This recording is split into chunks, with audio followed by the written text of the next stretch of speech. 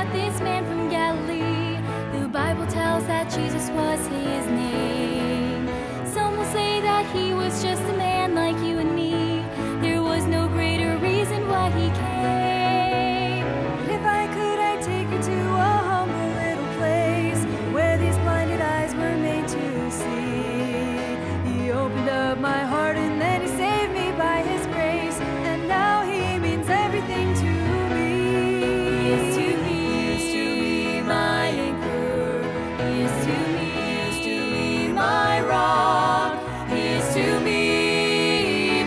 Savior, in whom I place my trust. Is to me, is to me my comfort.